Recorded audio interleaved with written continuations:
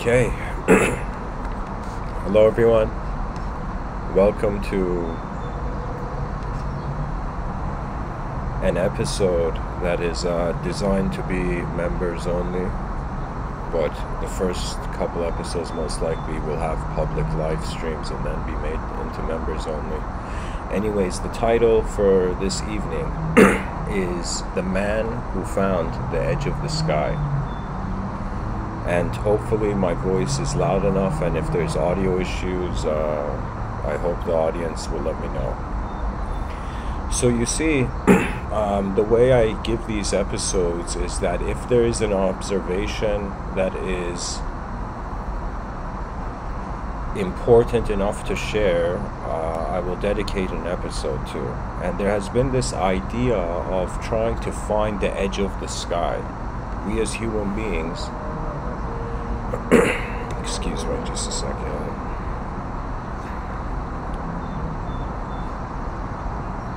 Okay, this is better. So, we as human beings look at this world and do a reality check. That means we wonder about what is real and where we are. We notice that we are found on a rock in the middle of nowhere and the sky is endless. What we call the sky is actually how a sphere is an empty space. that means any object you, any giant celestial object you, uh, you stand on, it has a sky, you can say people have been looking for the edge of the sky. And when I thought about this, it was very funny to me because I noticed that there is two edges. There is one edge of, a, of the sky, which is the edge of the universal sector. It goes that far, where we don't even know where it leads. We categorize it as a universe, but this is just our naming process from where we are. A lot of things are arbitrary and we, we keep it as real. What's even a more fascinating observation is that the human being has to manifest itself. It has to keep its attention on the type of self it wants to be in some sense to even be a self. So the whole meaning of reality arises out of our attention to it. Now when we pay attention to the edge of the universe we cannot see it but what is the other edge and so th- this was inspired this idea was inspired out of cyclops from the x-men that I looked at Cyclops and I realized he's the only fictitious character where light uh, actually leaves his eyes. You know, like a light beam leaves his eyes. And if you if you fathom that Cyclops was like in outer space, or maybe not in outer space, because then it would be a breathing hazard. But if if light could project from your eyes and it could go straight, it could go straight towards the edge of the universe.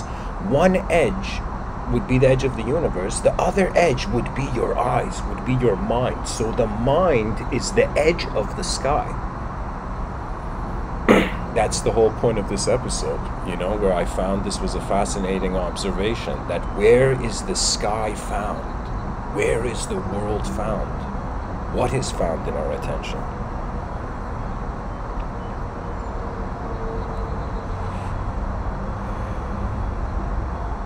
this beautiful artwork I found uh, on this website called Wallhaven.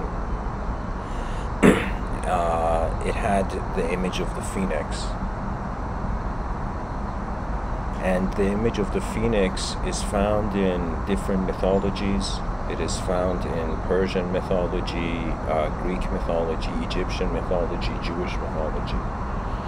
and for me, this sign of immortality, this sign of uh, something reaching, uh, oh my god, laptop has low battery.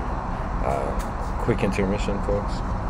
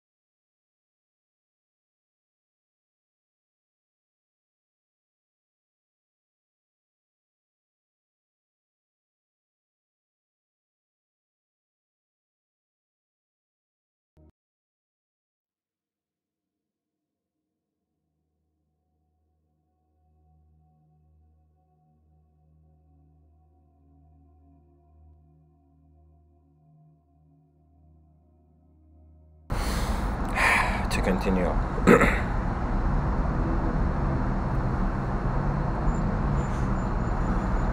the phoenix represents a symbol of immortality. It is the idea of this flaming, uh, this uh, burning uh, bird that is immortal. I read something that in the ancient Egyptian times they would go find the egg of a phoenix because they believed that in some sense it would bring immortality. So the phoenix is this universal metaphor of endless recontinuation endless uh, beginnings. It is it is a bird that is reincarnating to itself. And when we look at the world, when human beings emerge, their attention actually generates a new view, a new scope on the world. That means we either have one sky or we have eight billion plus different skies you know so it is in some sense the access to the reality is like the beginning of the edge of the sky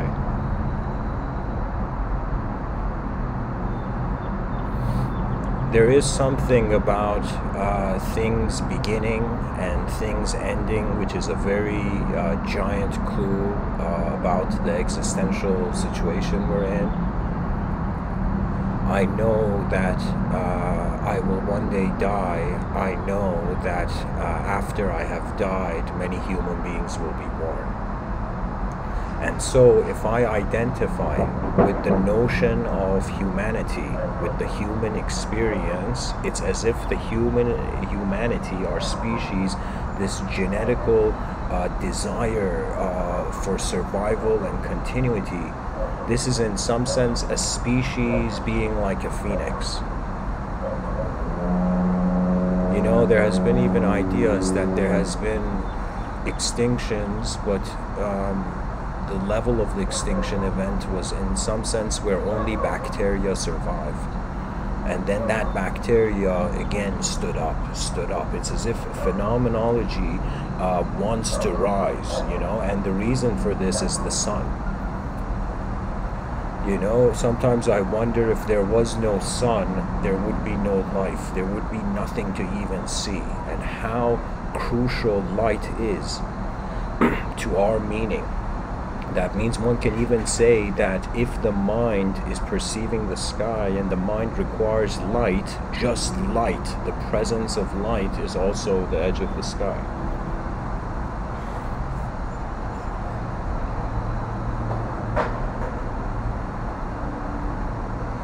So, anybody who realizes that their access to the realm is the beginning of their meaning, and one has the concept of the sky that concludes the man who found the edge of the sky.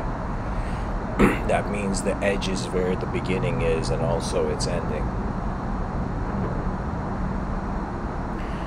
You know, in, in this episode right now, I feel like diving a bit deeper into the mystical yogic angle of the realm. You see, every human being harbors within themselves some pathway of sight, some sort of journey.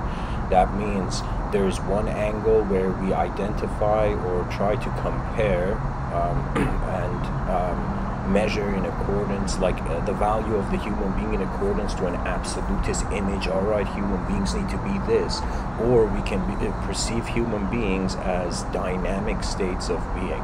That means we are, our species currently is under the impression that we are people. I find that in the future it will go towards realizing that we are actually movements we are life force. We are a force of life just moving. You know, something that out of this whole inanimate uh, system has began to move and when I say inanimate, I mean our movements, our reality, like the concept of reality is for the creature alone. That means if in the future extraterrestrials landed on Earth and we're like, hey, the extraterrestrials, do you believe in angels? You know, and the extraterrestrials might look at us and be like, you know, to each their own. Every person's eyes opens up the meaning of the world differently. I can't tell you even how many people I know personally who I have conver- uh, conversed with uh, about the deep nature of reality, in which for them, reality is just a station. It's as if like you're at a certain subway station and then there's other levels to the station. You know, the idea of reality being like a prison, reality being like a school. you know, both of them are terrifying.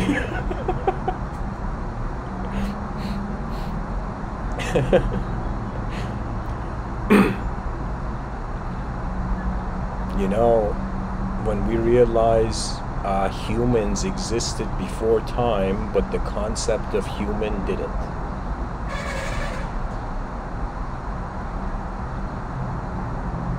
Observation of this realm is that it is a giant event, and we as creatures, due to our uh, difference between other animals, our ability to be conscious, this our sophisticated ability to use language, we in some sense uh, transcend the uh, it's as if uh, we are actually characters in a film but we are living in a world like a photograph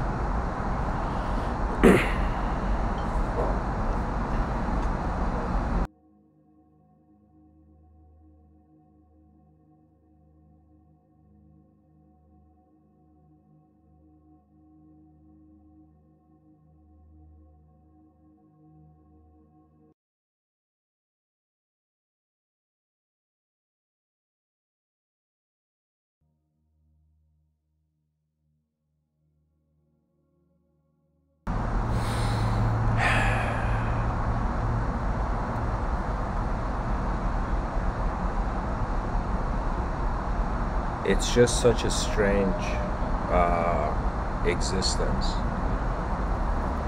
And what is normal is always updating.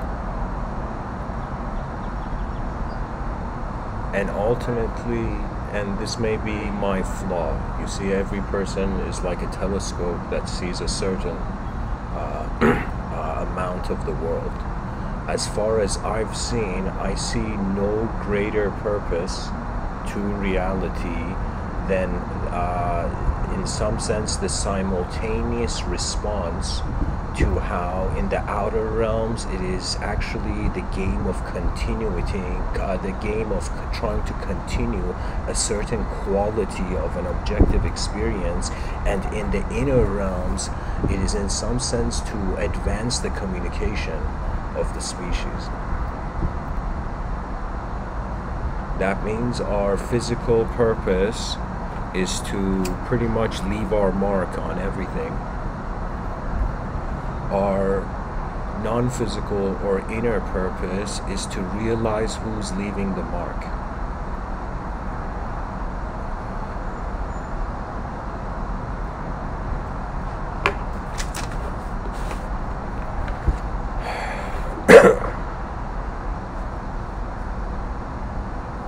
There was something shared about the idea of the phoenix in mythology that it was such a giant bird it could lift up elephants. And that shows the size of uh, how wild the inner realms were. When we look at the past to wonder about how much they considered the difference between a, a, world where you are instantaneously where you instantaneously have free will in to move things and a world where that the world moves first then your free will uh, uh, aligns to it. I don't know how well i said that but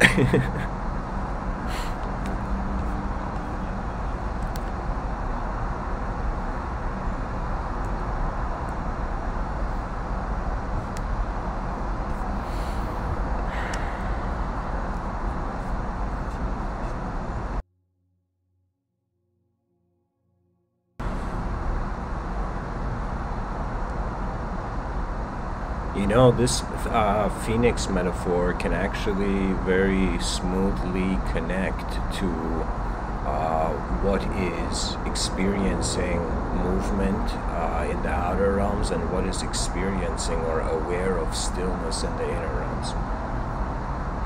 Every day that we go to sleep and we wake up, what is taking place is that the phoenix, the ideological phoenix, is being reborn. Consciousness is entering and exiting the arena of reality. As if we're logging into physical life and then uh, into physical, into objective and subjective life, and then when we go into deep sleep, there is no ego identity or anything.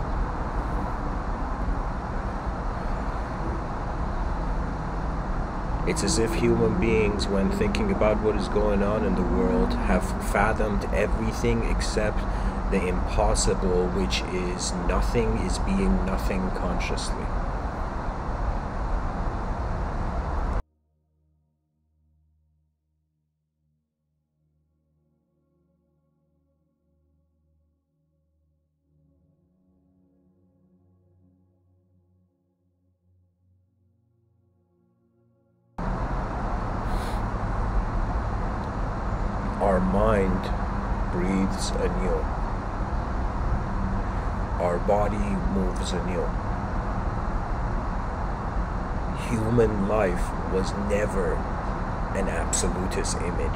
It is a cycle.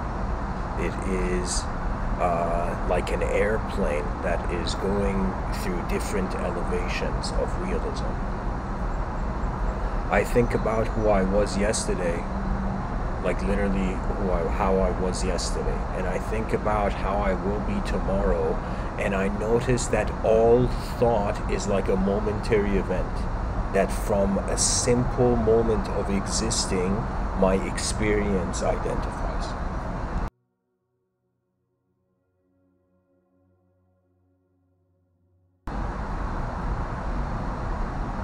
This classification between the inner realm and outer realm uh, for those who may be new, I call it Mr. Within's inner realm and outer realmism. Inner and outer realmism. And the reason is is because most people don't consider the inner realms. From a young age, we are taught that, you know, imagination is not real. We are told that uh, creativity does uh, has less of a value in a mechanical system. Do you know?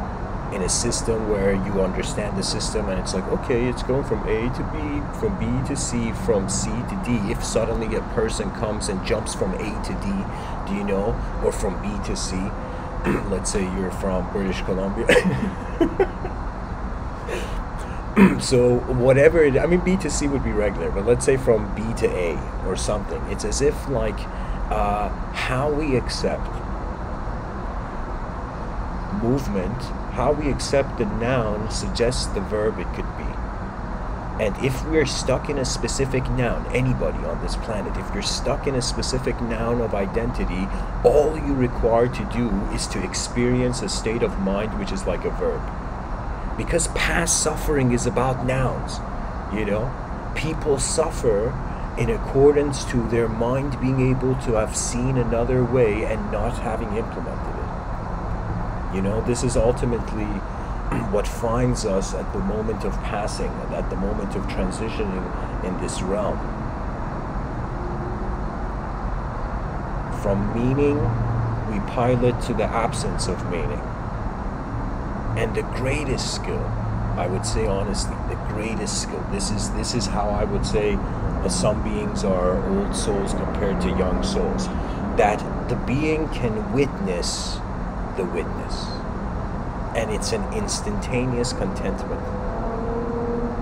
I have scrolled around, you don't know, the way I, I looked at ancient texts of this world was as if like it was hidden treasure or like spacecraft debris, and I wanted to figure out what it is. Then I realized that all the ancient wisdom traditions are pointing to an experience, and an experience is in, has something to do with movement direct movement.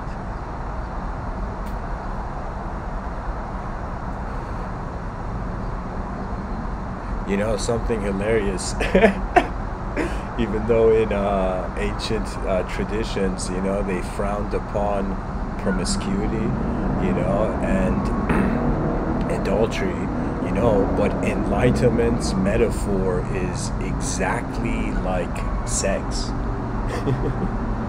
where in some sense the experience is different than the idea.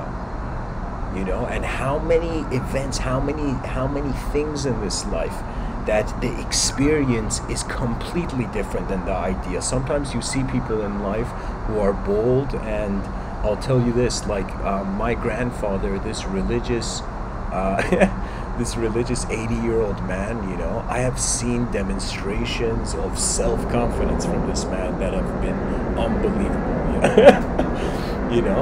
And his mentality was that because the future is unknown and the system is a dynamic system one cannot let themselves be taken by the judgment of something before it happens so in some sense he was like a bulldozer personality simply because until it happened he did not uh, reject. He was he was his advancement was experience oriented you know? And so this distinction between the experience of something have, uh, being totally different than the idea of something you know it, it's like the ultimate reality check where you suddenly notice how, what percentage of your life you have been living as a subject. That means you've looked at the moment and it's been subjectively true. And how much you've been looking at the moment and it's objectively true you know? And even though we have this uh, modern community like in the new age community there's this whole thing about the law of attraction you know how the mind in some sense there's a subconscious component to it meaning that your mind is like a machine and then what you think is your personality is uh, a, a, sort of summary of this machine. But in some sense the mind doesn't care about personality. That means i'll give you an example. Uh, imagine you're a person who your way of connecting with people is through sharing your misery and misfortune. I've met people who they bond with others by sharing how uh, miserable they are, you know, or how uh, how life is not adequate, you know. Uh, so people who share, in some sense, their misery they in some sense have not realized that they are actually programming a personalityless machine. And that is the whole point of the subconscious. That means if there's uh, um, a person let's say you're a person i'll give you an example let's say you with a very intense tone you go and say to someone i like you but it's like a shout.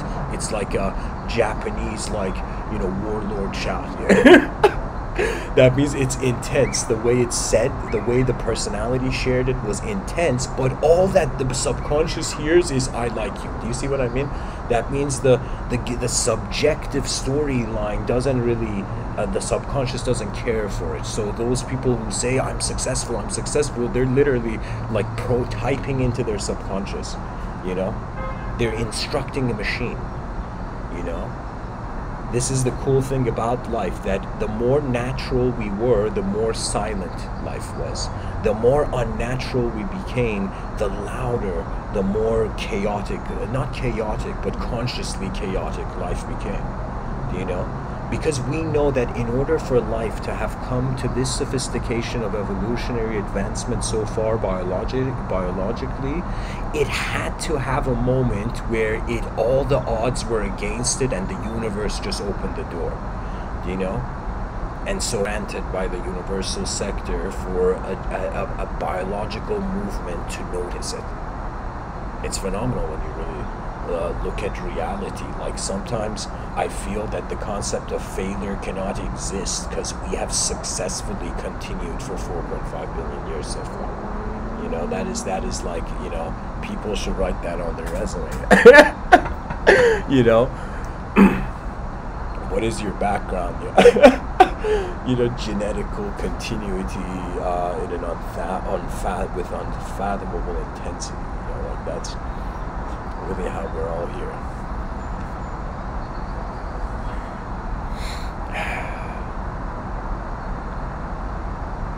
By the way, uh, just a quick note, uh, something I've written in the comment section. Um, uh, because this membership option is a new thing, uh, these episodes, in some sense, uh, for like some of the live streams, maybe like 20 of them will be shared live and then it will just become shared live for members only You know, so for those interested, just you know, check out the information of the channel, like the description or whatever, or the project update video. But anyways.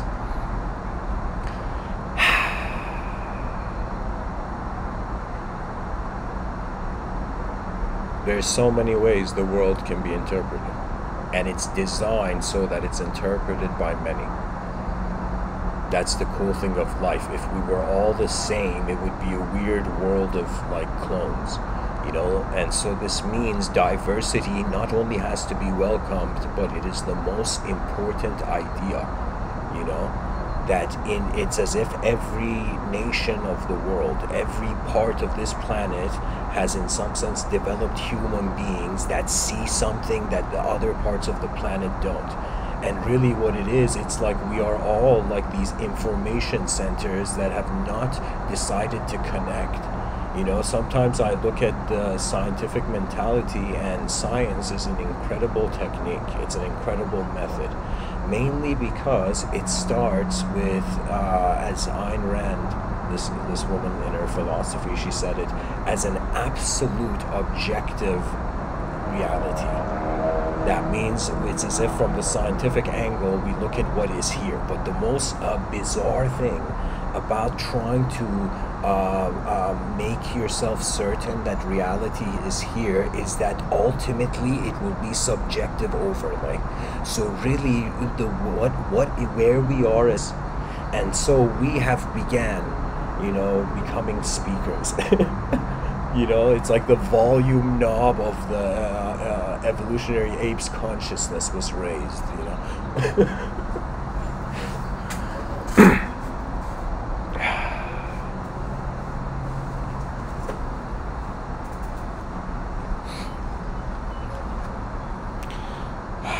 what can be said?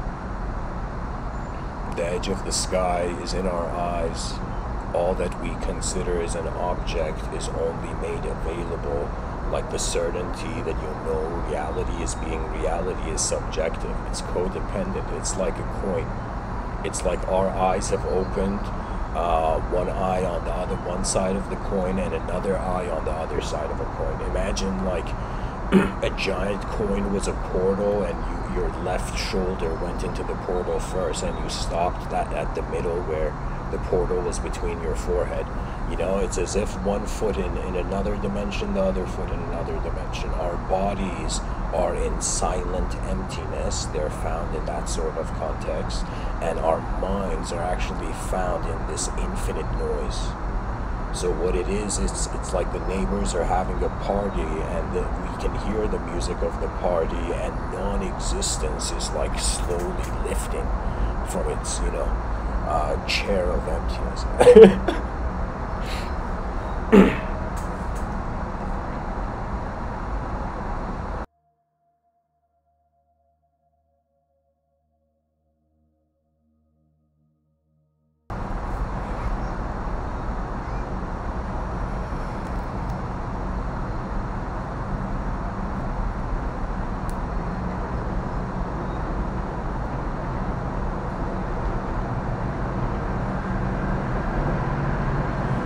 okay.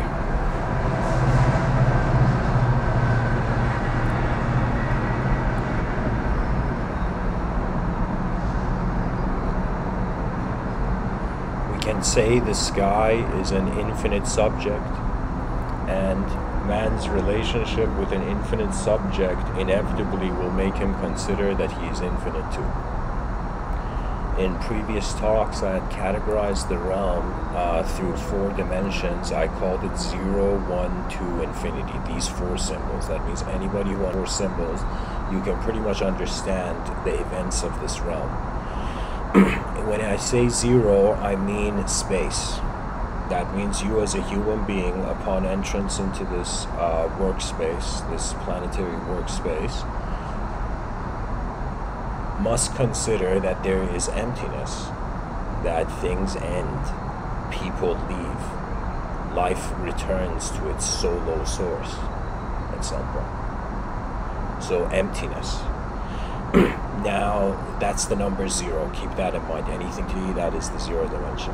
The, number one, This is singular, and this is very unique. A lot of human emotions, pleasure, joy is on this line, you know, where we want to be one with the world. Because the moment we are one with the world, there is no self to suffer.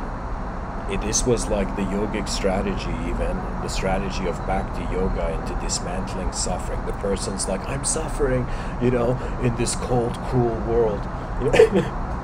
you know and then it was as if like the yogis i mean buddha pointed towards emptiness but like through the yogic mind they were pretty much like buddy everything's god relax you know everything is one intelligent movement of a universal sector you know? Now if we choose to give this personality we become religious. If we choose to keep this on a direct experiential level we're known as mystics you know? If we choose to write an essay about this we become philosophers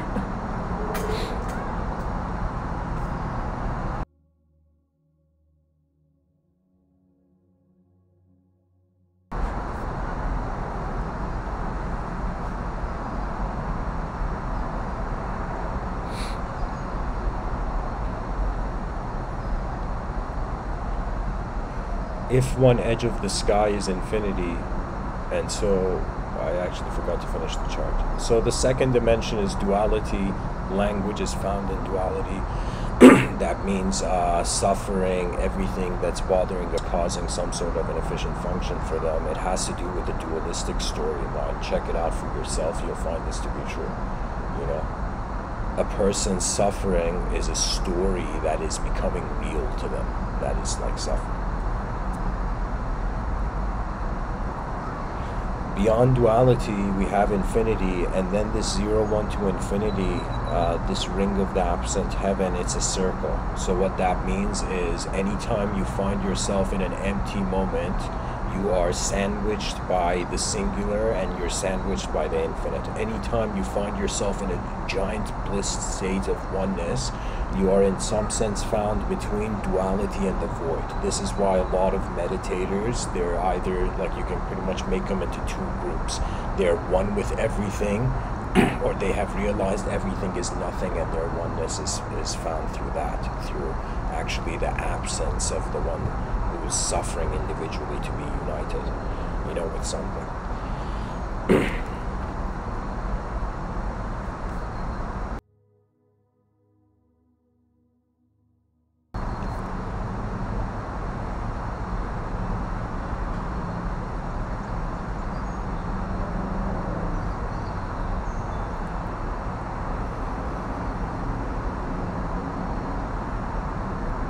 You know, I once experienced this moment where uh, I was giving a talk and there was a bird that landed on the porch.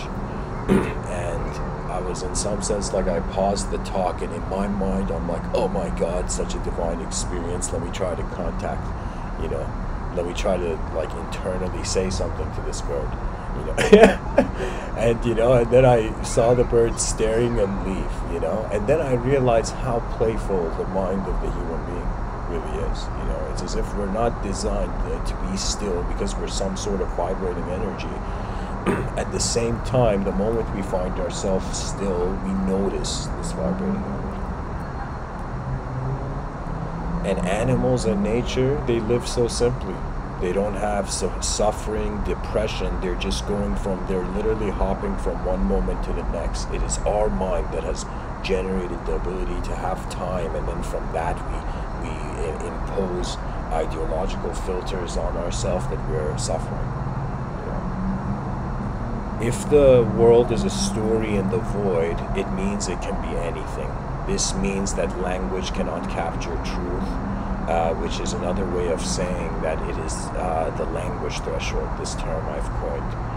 So human beings will experience, they have been, I mean, everybody has, we just don't share it in the status quo because we're too cool for ideas that uh, go beyond the surface, you know. Every person has moments with themselves where they are not a thought. You can't be because the moment is too simple. Like right now, I'm sitting here and I'm noticing myself sitting on this chair and there is no thought.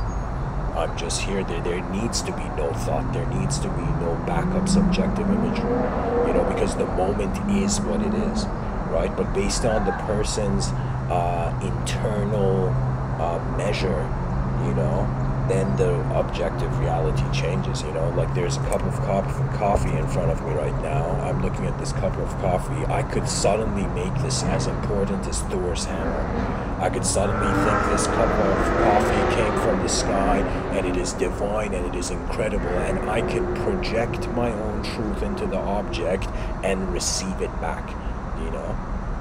But the moment I realize I can do that, I realize there is something more than what I can do. And this is the joy of life. You know, some people let themselves through a comparative psychological angle to feel like uh, inferior in society. But I'll tell you, if you just for a moment think about everybody has just appeared, like uh, when that's pretty much what birth is. You know, you know we are born into attention You know, it's as if like uh, consciousness is a stage, and when you're born, someone's pushing you from, uh, you know, backstage. You know, you know, it's like go up, you're late. You know.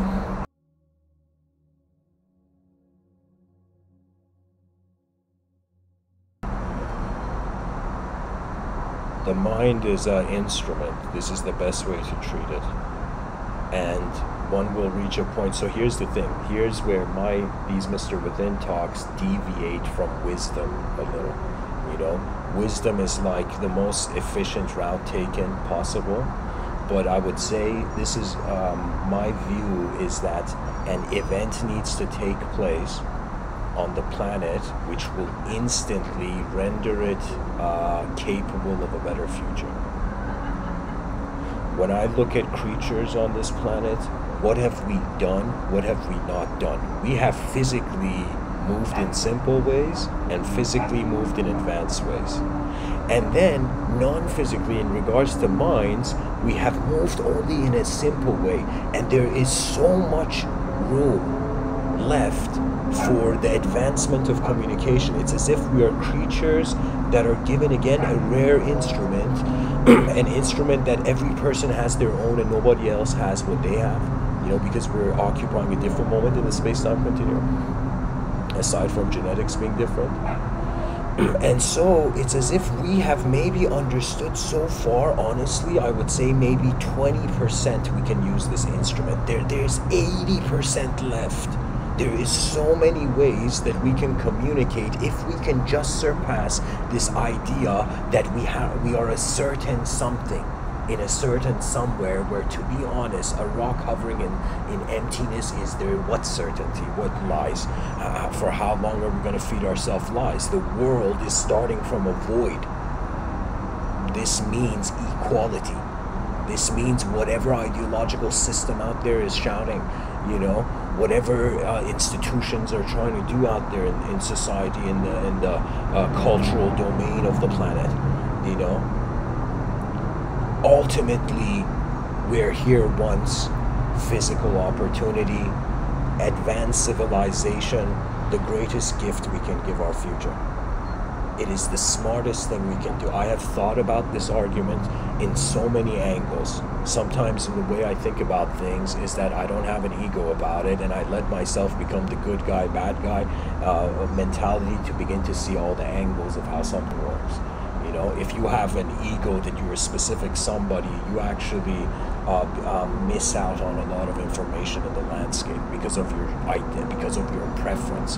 You know, the free will can be used in a way where first something happens, it watches, then responds, or it can be used in a way where before something happens, it's being an expression of itself. This is why silent people always appear wiser.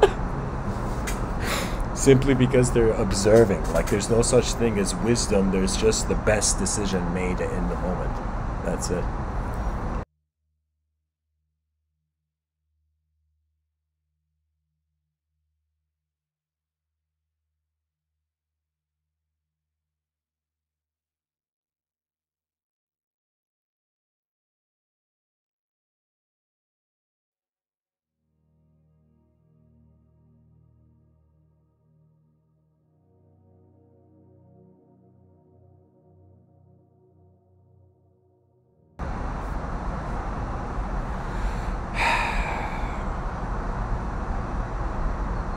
Is just a haiku of what is happening. Existence uh, has started from zero, has become one, a personality emerged, this personality lived in the system, duality emerged too, and then duality was like, what can I do in the void? And it realized it can endlessly expand. This is the power of mathematics, to be honest. Like as a, as a kid, this was what fascinated me about mathematics, where I was like, what do you mean? Numbers go on endlessly? we can till the end of time have a number that we still don't know what, what it is and it's just endlessly infinitely going you see it's as if infinity is a big deal when you find yourself as a temporary creature in the world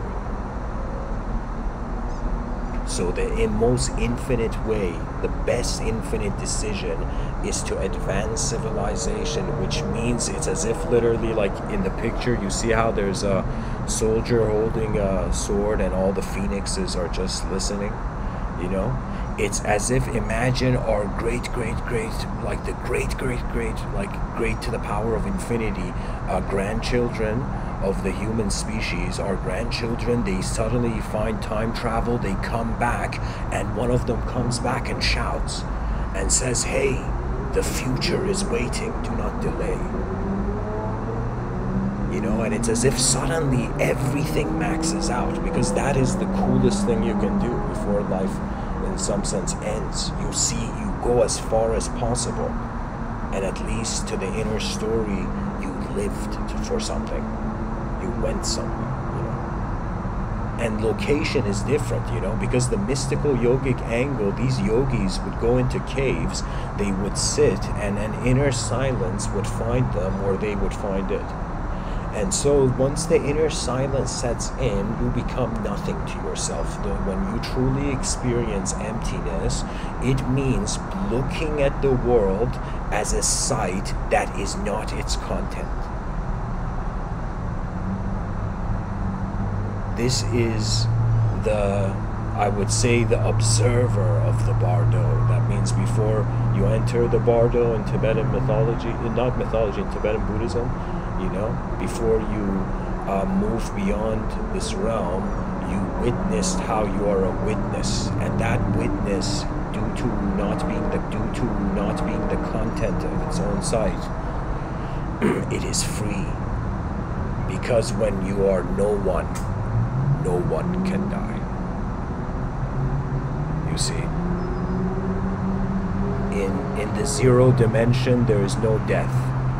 In the one, in the singular dimension, in oneness, there is no death. Only in the dualistic dimension there is death. Only in two there is death.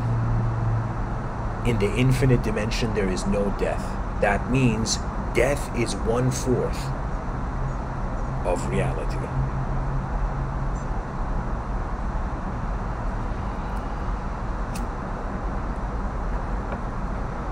silenced by time eventually. Time is our true opponent. You know, there's an ancient military saying, and they say, the enemy of my enemy is my friend. This was this would happen when they had to choose allies in war. Right now, it's as if like Mr. Within is saying, "Hey, human species, the enemy of our enemy is the same," and so it's the retaliation of a candle in a windy, uh, in a giant windy sky trying to go beyond orbit.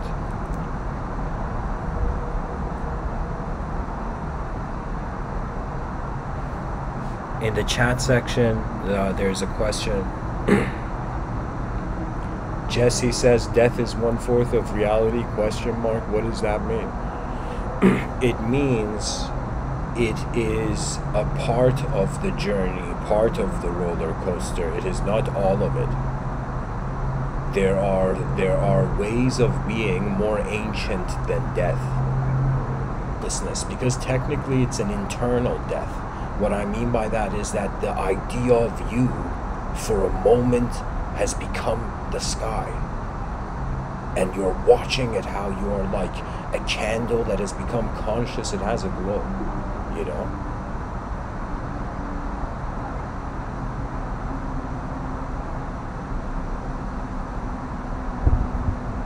Future commands our ultimate effort, and the past is rendered void by realizing why not.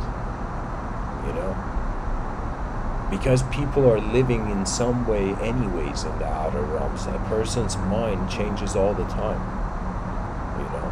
That's why I was like, okay, I can give talks every day. Why? Because I have a diff- I'm a different way this uh, of my own self.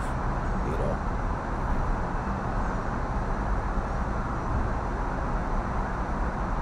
And you know, sometimes I think if there were extraterrestrial eyes in the sky, and they were looking at human beings, and they were looking at a human being, let's say, celebrating a birthday and a party and a birthday party, they would laugh. I feel aliens would laugh. They would laugh because they would be like, look at these creatures. They are existing in one moment, yet they as they trans as they journey through it, they in some sense have subjective measurements for. So to the um, uh, off-planet uh, realms, one can say we are uh, a species that has put a box on its head not to get overwhelmed of the intensity of really the, the existential situation because it surpasses your psychology. That means it's a person wondering, okay, I have been looking at life in a certain way until now, but what else is there?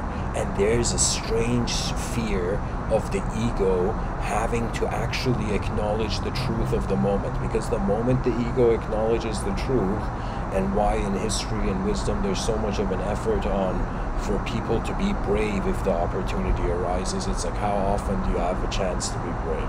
You know, you know so so it becomes like um, how would I say it? The journey of our eyes moves beyond our, uh, moves beyond our personality. If our personality is found in duality, that self, a self, is because we have separated ourselves from others ideologically this is why the mob men- mob mentality in history was crazy and we see like you know terrible incidents in history like Nazi Germany where it was pretty much one human being ideologically uh, shifting the cultural reality it was actually scary like insane you know like our history is so much cooler than any movie any filmmaker can make if we truly zoomed into the reality of it because the real is where the heart is you know. And naturally, human beings know. They know what is real, what is not, because there is an energy being used.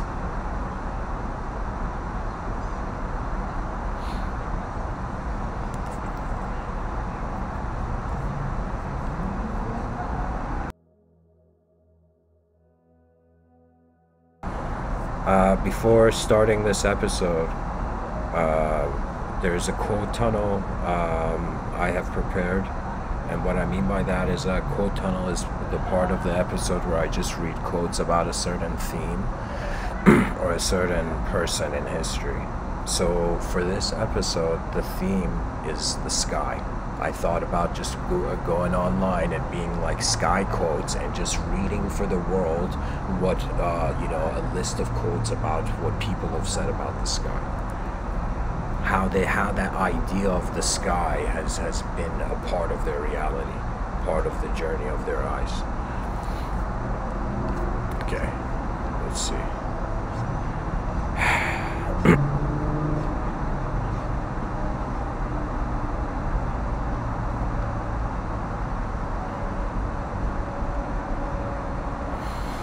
okay, actually, there's a song called "Above Us Sky." Let me play that.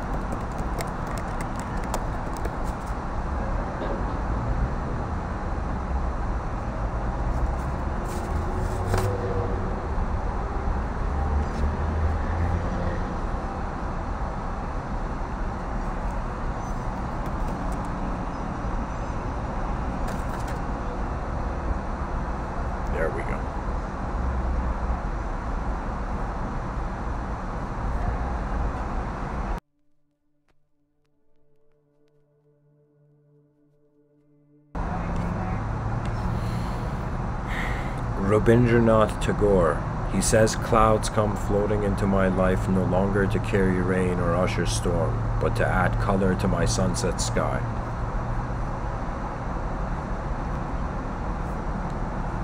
Christopher Morley says heavy hearts, like heavy clouds in the sky, are best relieved by the letting of a little water.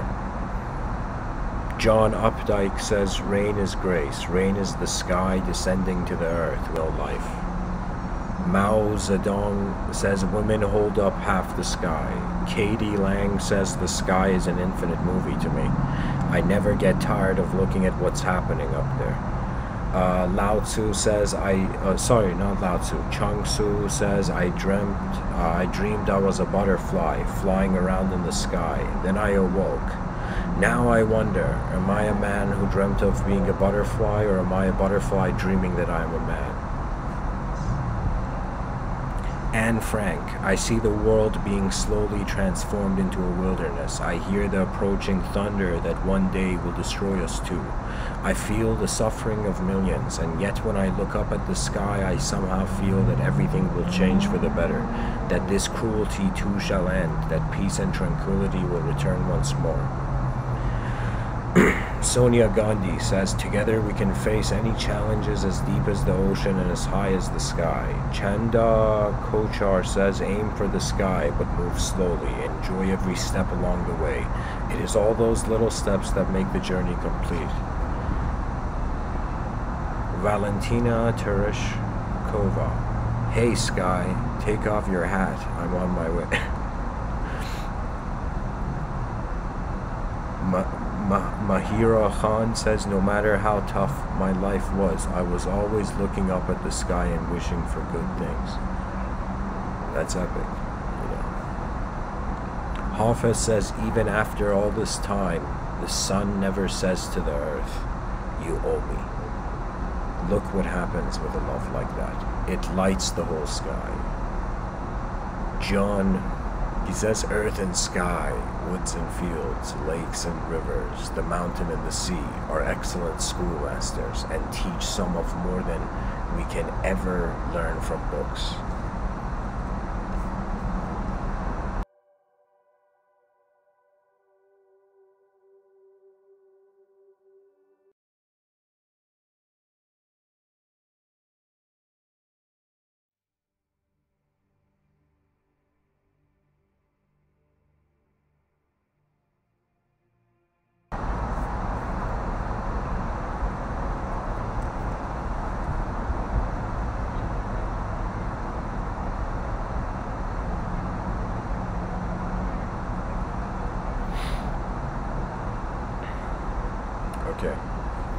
So that's the end of the quote tunnel.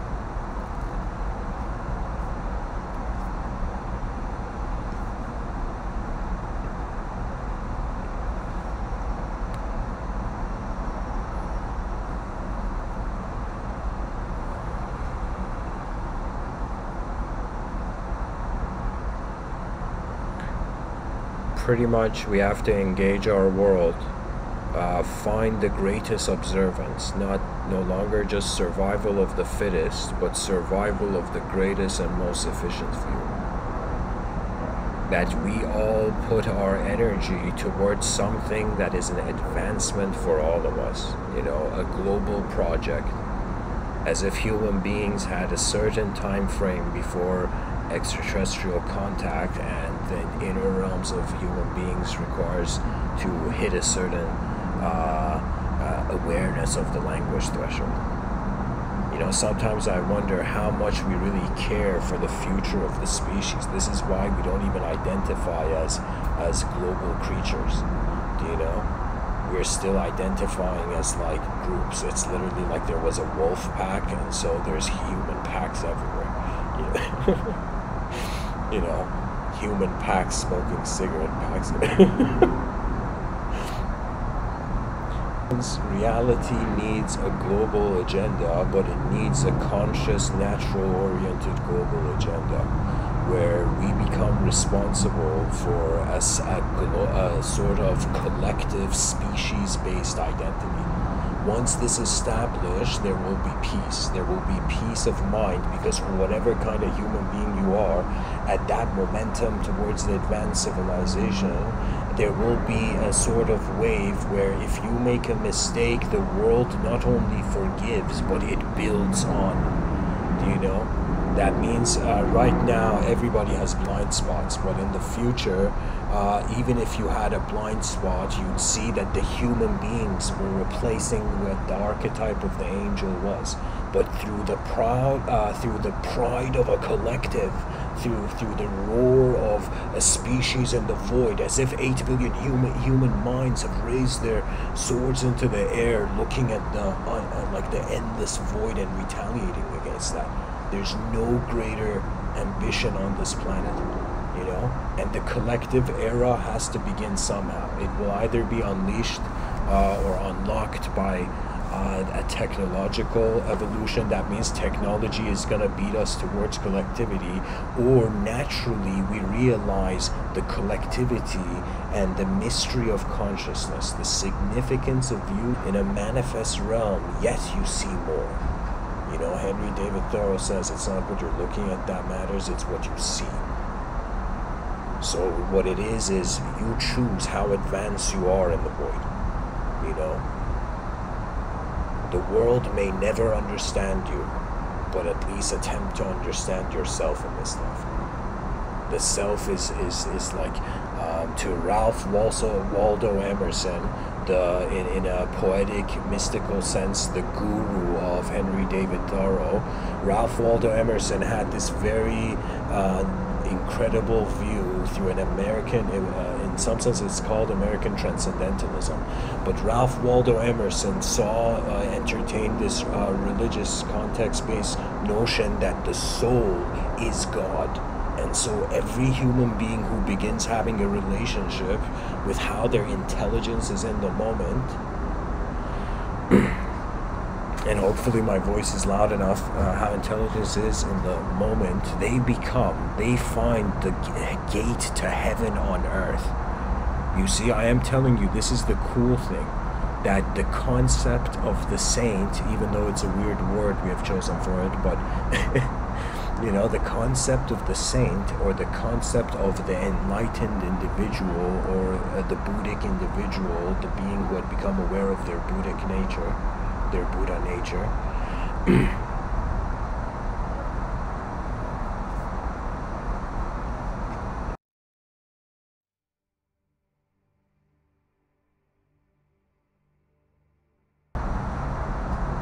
When the mind stops playing God games with the world, when the mind stops playing love and hate games with the world, and the mind allows itself to be the new, emptiness is the ultimate permission for truth. Emptiness is like a universe that has opened its door for temporary eyes to march upon the eternal road. You know? So this this ethos has to arise, literally like a meteor or like a spaceship from a Andromeda galaxy making a wrong turn. You know, people should uh, read my science fiction. 咳咳。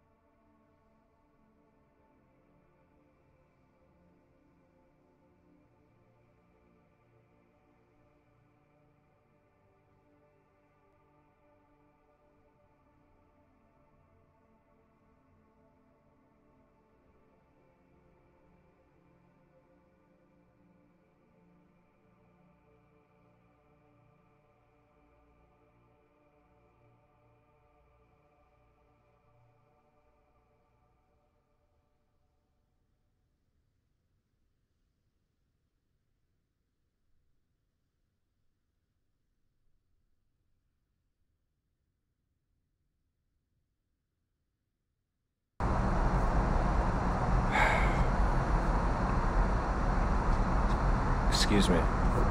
Needed an intermission there.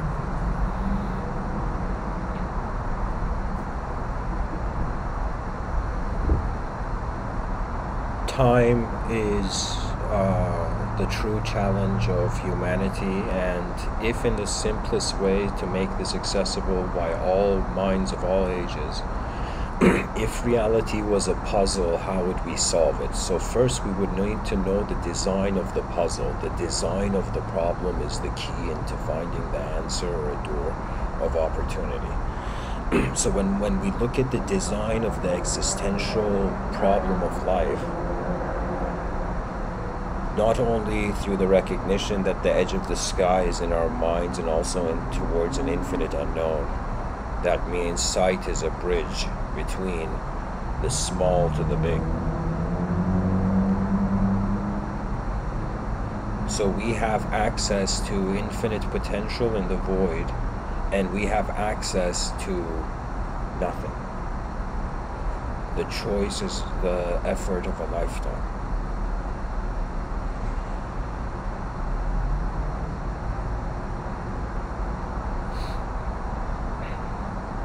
You know, in the future, I honestly feel that uh, there will no longer be like uh, hierarchical structures in the same in the way we see it today. Today we see a hierarchical structure of status in regards to physical ability and in regards to mental uh, uh vision. so Today we're seeing it like that. When in an advanced civilization, children will open their eyes and they will all be given a sort of poetic rank of being an advanced communicator in the void. What that means is we literally are the most advanced communication happening in this universal sector. As far as we can see, we are the ones in the room. This world has become our party, you know? So 8 billion human beings engaged in one moment this is an opportunity, a response, because really a, a big clue in life, excuse the coughs, guys, a big clue in life is that we're all here and you have to do something. This is the biggest clue that it's a verb and there is 8 billion nouns present at once and what if the great beehive of civilization was attempted? You know, what if, if extraterrestrials looked at us from the sky? They would be like, holy shit, these monkeys are trying to, uh, in some sense, move beyond their conceptual domains to inhabit not only interstellar space, but an inner peace beyond absolutism where all possibilities are measured in accordance to their design and relevance to the realm, then towards the emotional certainty of how you want to wield an idea as self. That means we're like 8 billion uh, people in a battlefield fighting each other, when suddenly someone's saying, Yo, we're all wearing the same armor, why are we fighting? You know? And suddenly the war stops. And what it means is whoever you are in this life, it would be a calling. It is the calling of an advanced civilization. This happens to any creature based rock in the, in the void, in the empty, in outer space. Why? Because it is the moment where intelligence is moving beyond the human phase and it needs to prepare, not with fear of it's going to miss out, but the fear that it could do something and why didn't it do it? That is the biggest regret. So, if we build a civilization, a cultural, imagine a society where everything was held in the context of the honor of how far the advanced civilization would go, do you know there would be crime? And you know what would happen? There would be punishment. There would just be human beings looking at that person who committed crime and be like, buddy, we're here for a little while. Don't disturb the great work of the species. You see, it becomes a movement. It will become for the first time a revolution of minds. Something we have never seen, but the internet has allowed that. Maybe, uh, you know, the clues from the stars are right in front of our eyes.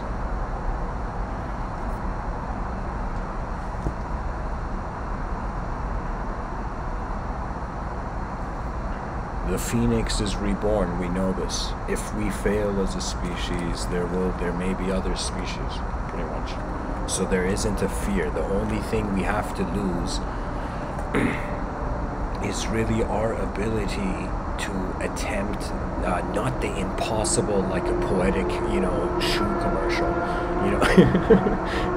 We, it's like there is no such thing as impossible. There is just resources and there is utilization of resource on some level. That means like we are all tripping as a species for overpopulation and you know to a, hysterical kind of point and we're not realizing that if we for example build sky cities the overpopulation problem would in some sense go away and we have to realize even though we're living on the surface of this earth we are not meant to live here forever and what do i mean by this is that literally the world where because we're on a sphere the coolest thing we can do is go beyond the atmosphere.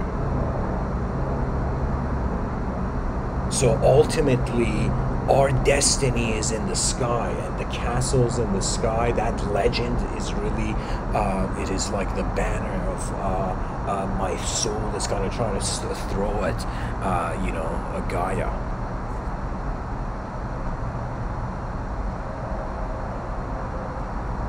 The planet is alive through us in this level of sophistication. Our inner realm, our mind, is a totally big domain. Like so, that means it, like um, the puzzle of uh, what should human beings do in the void. What's the best thing human beings can do in the void, and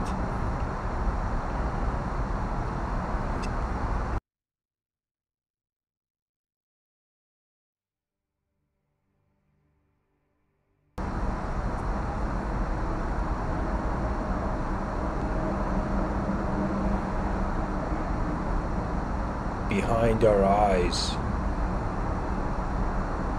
we treat the living earth as, as, as the of the future would. Ultimate compassion, I'm telling you, let us let the species walk this way. Where the Dalai Lama videos on YouTube got more views. Why? Because one man shouted compassion. It is a road, it is a hidden portal in the chaotic unknown a species that cares for its own value. Do you know I see this in gamer psychology all the time.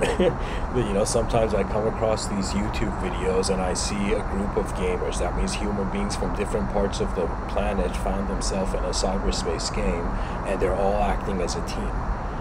and when you see that, it is as if every universe is living for a greater universe. That means the, the greater self of every person is the collective. And the relationship of the collective with the planet is advancement. So the purpose of life in the outer realms is advancement. In the inner realms, it is awareness, but I also call that advancement because it sounds cooler. Yeah.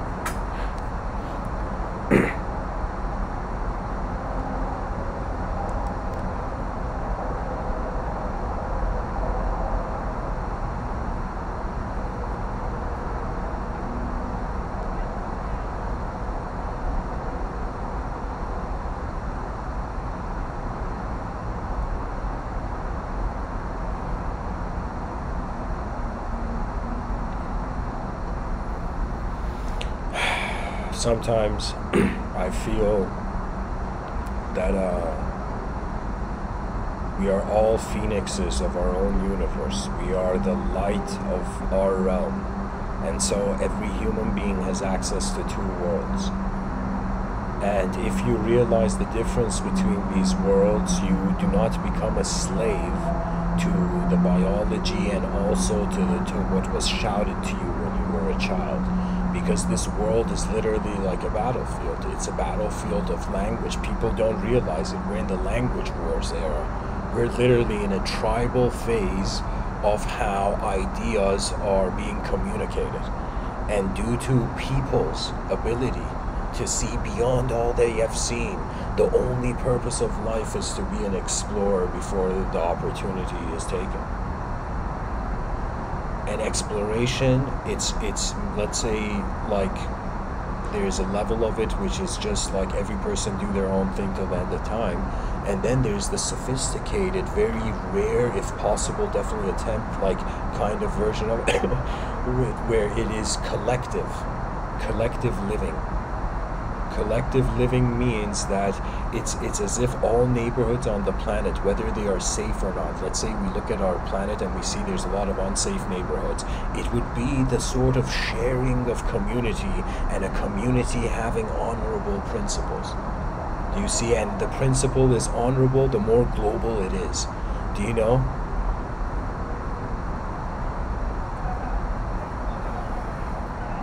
By the way, in the chat section, people are welcome to ask questions, and uh, this episode will be made members only. So treat this as a members only episode. That's that's just live for a little while.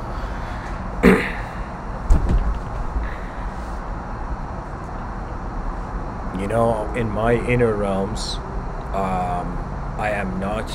I mean, not that I can say I am hundred percent detached from my inner realms but I will tell people that I, I have learned to watch it. I have learned to watch my mind in a strange way, where it was as if through a karmic quarantine in my childhood, the universe made me an observer, to has made me an observer to a strange degree of what I am. That means imagine a sort of, uh, uh, imagine there's a theatrical play going on, and a person tries to be an actor this theatrical play, uh, play. And so the person suddenly tries to go into that theatrical play and become an actor in it, and the person cannot. So the person is rejected from the theatrical play where meaning is being generated. Now, if that happens, what happens to you? You're only left to see what yourself is. This is the best way loneliness can be utilized. Think worry. So you so in that observation of self, the world is simultaneously connected to it. You cannot be a self without a world. A sky cannot exist if there's no human being to consider it. You know, so the death of the human being is the death of the sky. That means it's like there will come a time where I will have to exit this realm and I will be like, okay, this is how far uh, I flew into the sky. You know, the effort of the effort of whatever was here doing whatever it was. You know, like in some sense, a movement of nature. we are like trees that can walk and build things. You know?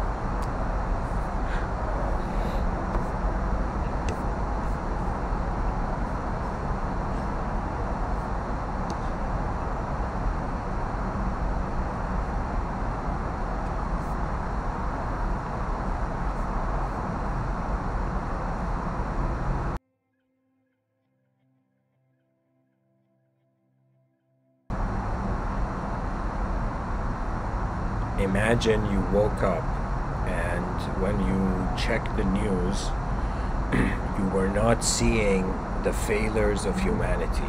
But when you check the news, every channel you went, people were showing how the civilization was advancing, in what domain, in what area, and this whole renaissance like movement towards trying to see what the most advanced, uh, what the epitome of all systems would look like. Everybody is gifted with a unique sight.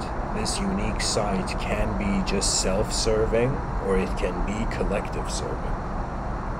Could be planet serving. I feel that is the highest honor. That means after you're nice to let's say yourself and then you're nice to animals and then you're nice to uh, nature and then you're nice to people and then afterwards you're like what else should i be nice to you know and so you come to a point where the only thing left nice to be nice to is your future and so to be nice to the future is the ultimate sacrifice of the pleasures of now for the efficiency of, of tomorrow You know? so it's it's this strange thing where to the best of your ability, whoever you are, advance something.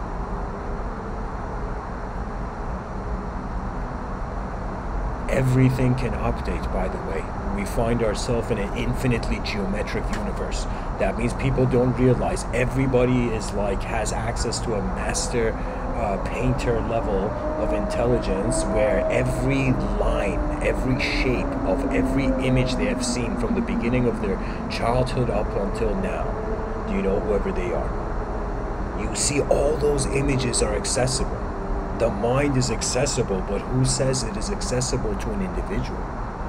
Know, there's certain states, I call them memory fields. That means in the inner realms, when you uh, attain pure stillness and preferencelessness for the outer realms, you you notice how your mind moves. When you notice how your mind moves, it has content.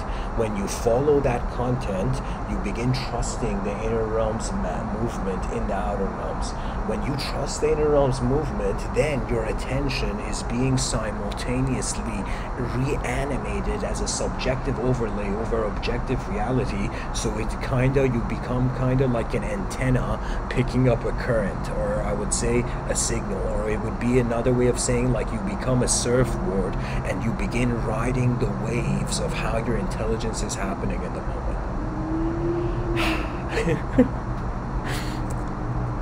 That's it. Well, I'm telling you, what I just said is is is what's uh, really like we uh, our transcendental quality.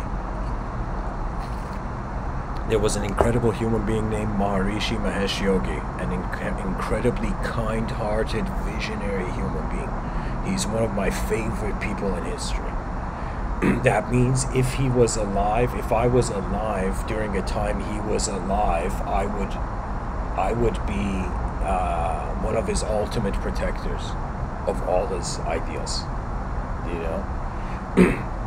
mainly because he came and looked at human life and he found an, uh, an Eastern, a Vedic algorithm and he brought it to a Western audience. And the way he brought it to a Western audience was, it was that he categorized consciousness into levels. I'm going to share those levels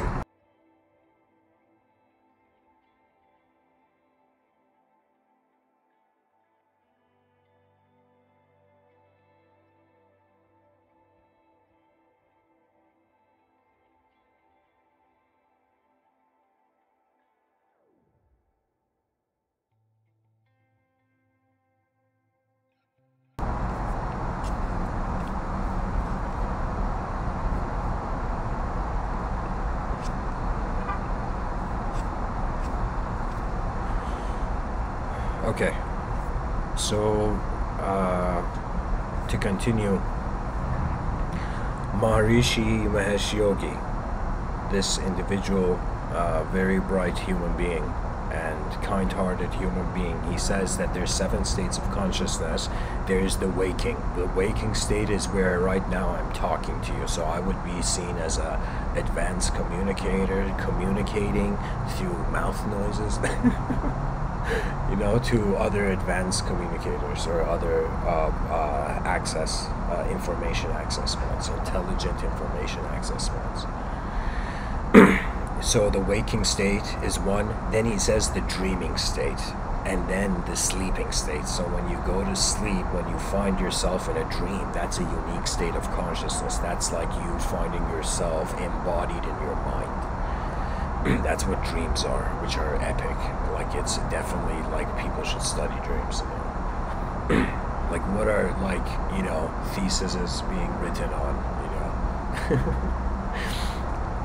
so, anyways, so there's the waking, dreaming, sleeping, and then Sri Ramana says the transcendental consciousness, which is the witness, and then he says cosmic consciousness, when the witness no longer needs to be a witness because it has truly understood its everything.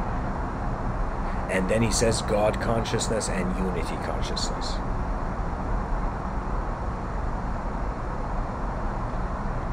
So there's a level of God consciousness where you are, in some sense, you could see it as a union with the universal intelligence and the universal will or listening to the logos until it has allowed you to be it.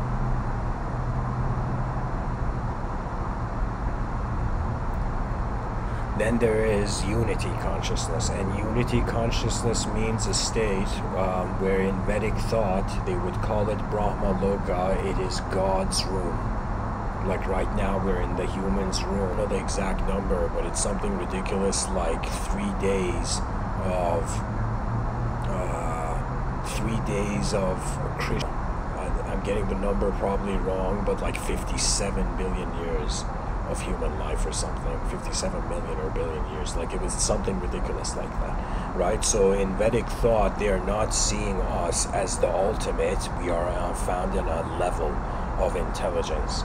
And so Maharishi Mahesh Yogi pretty much came to people and he was like, What if there is something more than you being awake, than you and you that a human all human beings can access that moves beyond like the limits of the these three states of consciousness where like a roller coaster not like a roller coaster but like like like a cartwheel we kind of we find ourselves rotating it right because this is the angle right we're awake you know activity takes place and then we sleep. There's like a, a sudden shutting down of the system when we sleep. suddenly we shut down the program of consciousness, and then suddenly the program of consciousness awakens, but it awakens in its inner realm. So in dream states, where in our, we find ourselves in our inner realm. Now awaken in the dream state, and you wake up from the dream state into the waking state. So you see, it's like nothing, uh, then an illusion, then reality.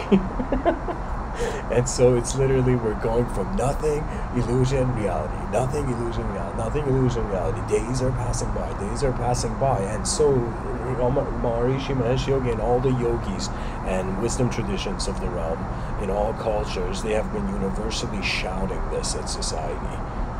That man is way more advanced than he can ever define himself because based on the advancement of his intelligence, uh, the definitions arise.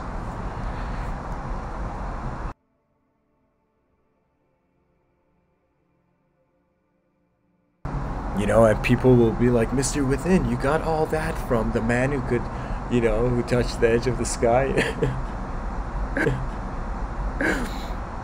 I'll be honest, ideas are never separate. No human being can talk about something without that, that concept having a context. The context is the world. All ideas eventually connect to a global perspective this is pretty much, uh, the, uh, at least to my ability as a human being, how I classify knowledge. It's intelligent activity based experientially first, like that's the priority. We care for experience. That means like a person can say words, but if the words are, uh, let's say, troublesome to others, their experience lets us know. You know? So experience must be valued first in an advanced civilization, and pretty much that means we're all treated like tourists. So the in my science fiction novel, the advanced civilization is actually a civilization where its its leaders, I called it the enlightened society. The enlightened society were beings who, when they looked at the future, they realized it all led to divine art to universal art. We are all paintings of the universe, and from that mentality, the, the enlightened society looks at the advanced civilization and, in some sense, reorchestrates all of government like a new, like a new music, you know, beautiful music, like like literally the best that we can do. and so the way reality reformats it its values and ultimate motive so even if you're a person, whether you find yourself um, in the direct, you know, in the extremes of society, you know, or right in the middle of it, or wherever you find yourself in this hierarchy of how just creatures have evolved from living in tribes.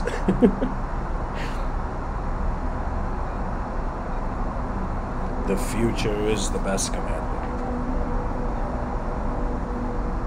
and the future is the extension of the present and the present is animated in accordance to the past when the past leaves you when you're done with your own past as a human being you're in the present 24/7 pretty much there's nothing else. When you're in the present and you're done with the present your your uh, your ego on the moment goes towards a transcendental desire that transcendental desire it is shunned when it's tried to be externalized in the outer realm. But if it is treated in the inner realms it would literally be as if like our intelligence is like a bird that hasn't learned to fly yet. And the moment it sees other birds fly there comes like that urge you know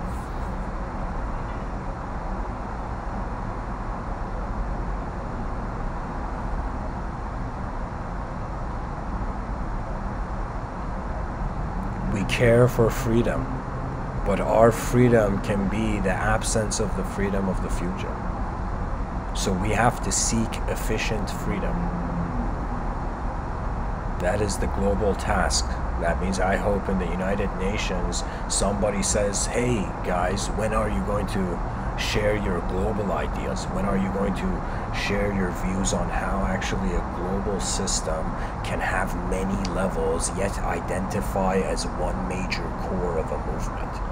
You know, that means it's a classification issue where on a rock in the middle of nowhere we've just through mouth noises branded uh, land and so, if we realize these are just personal levels, and instead of having this bulldozer mentality of bringing the future in, we have this mentality of preserving everything, everything so far in history, everything anybody has done, whether it's for them throwing trash on the ground or, uh, you know, uh, drawing a masterpiece on a mountain peak or something. you know, so it becomes it becomes one of those things that whatever human beings have done the, past is dismissed, the errors of the past is dismissed, and just the command of the future remains.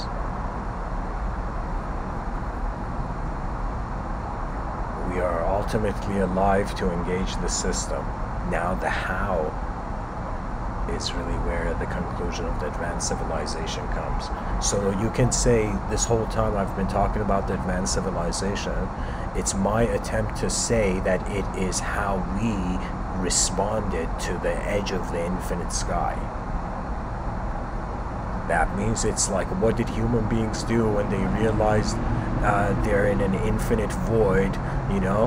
Uh, they freaked out at first, but then they got ready to build, to create the greatest masterpiece of human uh, evolution. Outer realms, your honor will be based, imagine, in the future on the advanced civilization. People will be respected for how they have lived in society rather than just uh, snapshots of, of uh, moments in their history.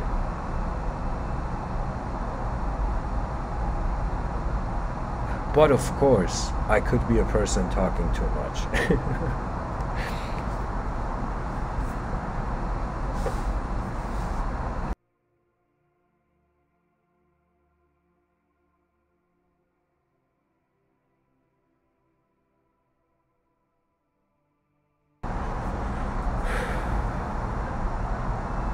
i can i can design a cool concept here and say that people have to come into terms and they have to befriend the phoenix in the outer realms and the phoenix in the inner realms.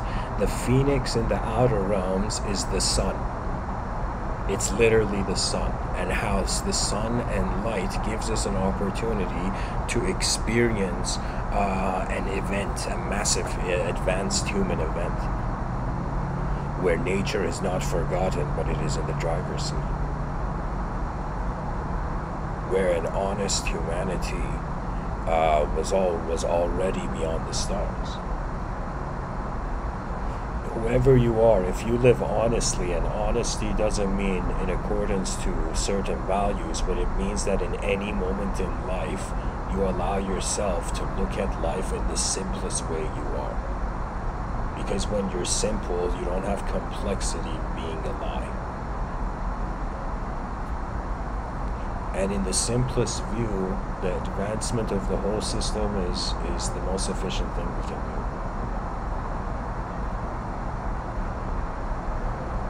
There is no such thing as a globalist. You know, there's just eyes that uh, dare to go further. And it's super cool you know? It's like it's like we're in a camping our planet is and human beings they each have a torch imagine back in the day hunter gatherer tribal way and in groups they're going out and exploring. It's literally like game of thrones night's watch level where all kids are going to school not to become a certain profession not to wear a certain hat of uh, behavior but they are in some sense uh, going to school to become explorers of the true meaning of what it is that is going on here. The ultimate question that means educational system to be honest was inspired out of war. People don't know this but the educational system is, is a reaction to war the way it's been designed. And why? Because in the 1900s you got to just think about it realistically that nations were at war and so they're like holy shit another nation's attacking us what do we do? So change the curriculum of the school to get soldiers ready so you can totally see the educational system being influenced by something, by an event beyond it, right? So the educational system has not had a choice to readjust due to staying true to its heritage. Now the issue is 8 billion human beings cannot all fit into the same educational system. It's just like we're all by nature different designs. So we have to create a platform where in the educational system is actually taken back to the idea of battle because nothing gets a person more ready you know for engaging an idea when it's like a challenge that is important you know? An important challenge literally like a vacuum it, it takes the attention of the people you know? So it's the setting up of an important challenge would be just this further mentality that the educational system is now is has gone back to this whole thing of trying to get soldiers ready. But what what kind of soldiers? Not soldiers advanced communicators or advanced explorers. So literally it would be like we're getting pilots ready to explore the unknown the reason I'm emphasizing this is because there's there's a part of the imagery I still have to paint. Uh, it would be a future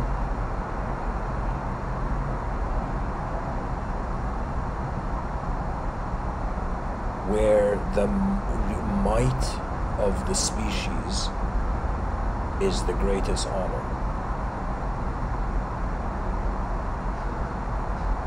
Pretty much, it would be like a sort of uh, Shingeki no Kyojin vibe of a sort of uh, last stance of humanity, not against giants, but against uh, void, against the unknown. The enemy of my enemy is my friend, the enemy of all human beings. And I say enemy, but it's not an enemy really, it's just a viewpoint. Like the enemy of uh, my enemy our common enemy is not unknown. That means all human beings can, in an instant, snap out of uh, a sort of cultural identification with a certain landscape and realize that you are inside a universe. You are a universal being. From the beginning, you have been. And the inner realms give you uh, uh, um, magnificent access to the intelligence. That means your mind is here to figure out how the universe is here, uh, uh, how the universe is happening as it, and the body is here to, in some sense, be maintained to do its work. The body is like the instrument of a lifetime. You can play it or not. You can, in some sense, use it for different things. And the world is so big in this infinite landscape that it's like an all-you-can-eat buffet, and human beings all around the world, their characters are based on what they choose to, what their attention chooses to consume.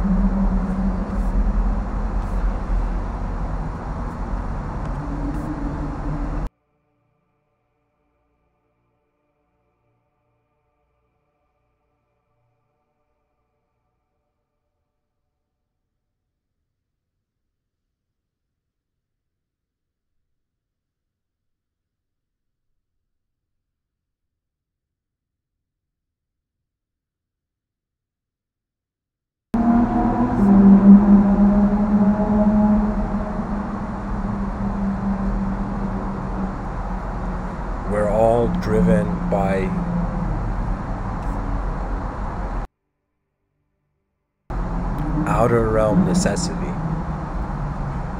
but we're also driven or, and can be driven by inner realm possibility.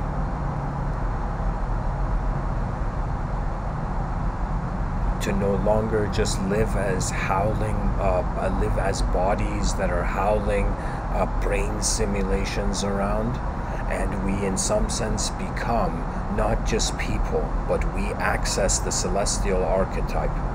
We extend the context of whatever story we are telling ourselves towards the universal.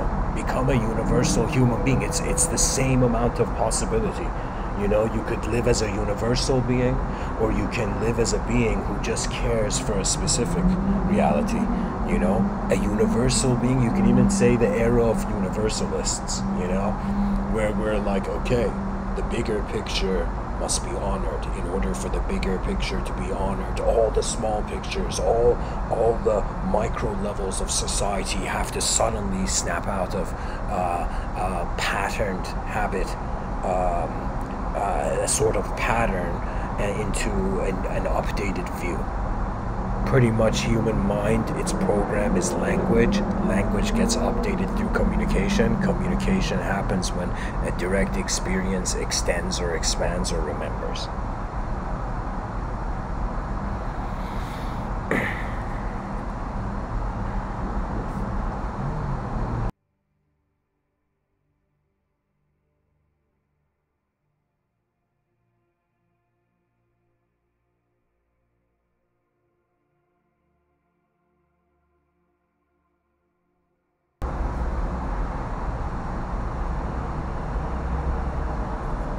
There is a quote uh, by Rumi. He says, It's a great clue. He says, Out beyond ideas of right doing and wrongdoing, there is a place. I will meet you there. And then he says, When the soul sits on the grass, the world is too full to talk about. That means there is a state of how uh, the uh, subject for the verb uh, is being to itself. That means there's a moment in life that will come, and I feel this moment will find all human beings before birth. It's like a to do list of the universal sector, you know, where human beings will find a moment where the witness is left with itself. This is a very unique opportunity to realize yourself beyond all that the self has been tied to. It would be really. Uh, as if like how the Sufis would say to die uh, before you die. It would that means the ego, uh, like an egg. You you can say if it hatches, if it breaks from the inside, there's life. If it breaks from the outside, there is no life. So when a human being on this planet goes within, and they really look at what their ego is, like how they are keeping the idea of themselves and what is actually happening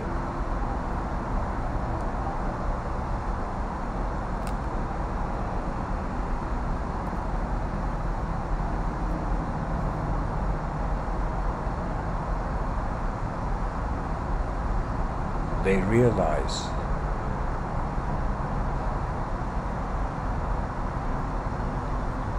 the watcher doesn't die. As the Vedas say, the seer of the seen is unseen. You discover the unspeakable, untouchable being. The, un, the un, it's strangely in a poetic sense, it's as if when you realize nothingness is being alongside everything and the simultaneous awareness of both of them is that supreme state. Even Swami Krishnananda says that meditation uh, stops when one realizes their inseparability, when one realizes the inseparability of the individual activity with the cosmic activity. That means you only need to get enlightened because you're still being a person in a universal event. But when you realize you, the universal event is happening, there is a strange inner peace where you realize, wow, a lot of stuff is out of my control. I'm just like a tiny part, a part of the system, uh, you know, making sound, you know. You know, in some sense, you know, I'm, I'm this lifetime for me so far has been really just observing an the intelligence of a system and wondering how it conceives its future. And the way society is through the artificial edifice of you know global politics i will tell you there is a better world waiting for us and we are wasting our time trying to be uh, uh, advanced to ourselves there is that means patriotism is is interesting but not as interesting as as a species you know uh, advancing towards the stars. You know that's like way more epic you know.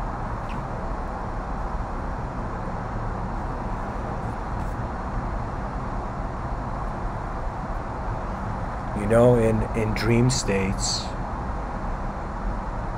um, one cannot it's like a, the rug is pulled from underneath your feet automatically.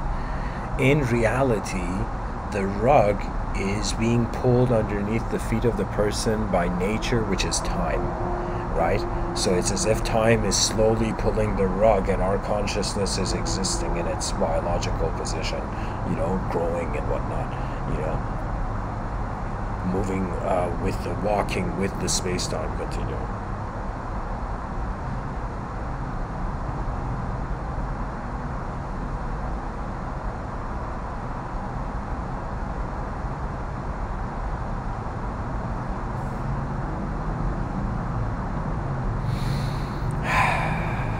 the world we live in and the worlds that live in us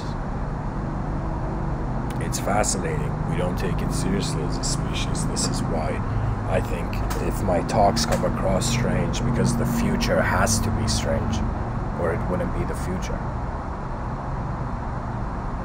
Everything from the future is like normality going, what?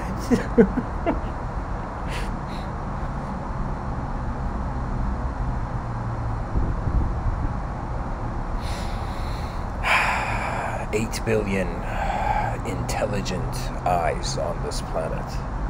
Eight billion minds that don't know themselves and don't know the world, and we're all just found in this moment in history, you know, right before the unleashing of the cyber, uh, the arrival of cyberspace realms, and we have to go through a geometrical phase.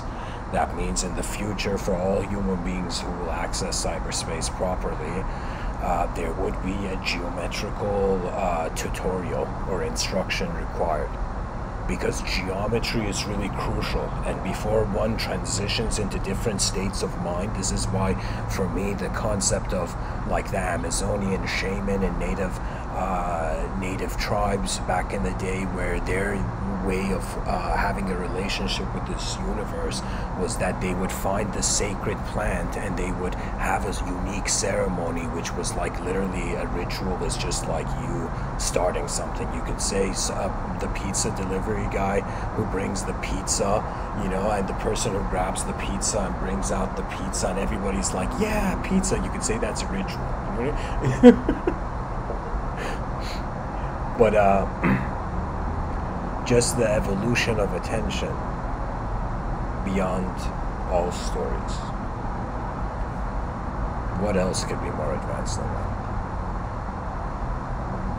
And you know, if you're a human being who can look at the zero dimension emptiness and you're not afraid, you know, and if you somehow manage to go beyond dualism and access the infinite heart, that means I can tell you that there is something that it has to be poetic because that is its mystery. That the there um, in Bhakti Yoga is superior to Raja Yoga and Karma Yoga. What that means is the path of love, which means the emotional dimension is active sincerely.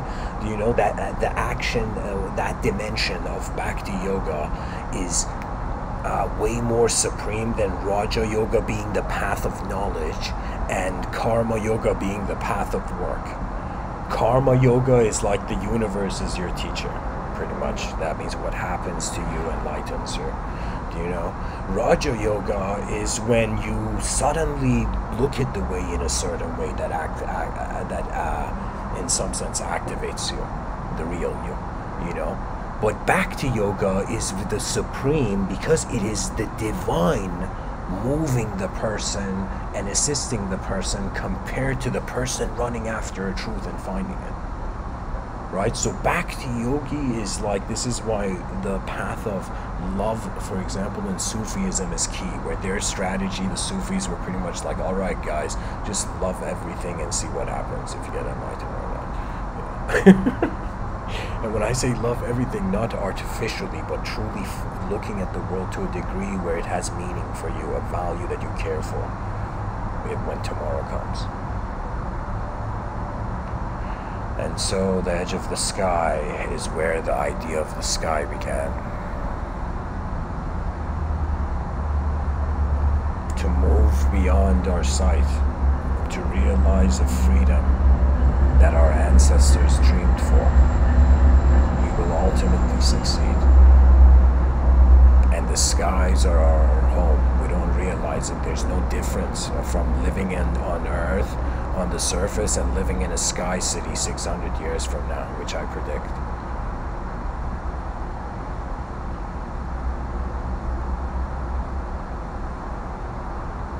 Reality is just space. We, we move in it like, you know, strange, hilariously like Minecraft characters. You know, we move in the realm in ways where our attention leaves something behind in the moments we journey through intelligence is really rhythmic. You know, there's this view from the Lotus Sutra in Buddhism. it is a spectacular idea. And, in, so the Lotus Sutra, um, you can say it was like sayings of the Buddha. And so the Lotus Sutra depicts Buddha in a way where when Buddha is passing away, when he's about to die, and Buddha means awakened one. The person's name was Gautama Siddhartha, but uh, they called him Buddha, which meant awakened. He had woken up from reality, from the slumber of reality, from the linguistic simulation.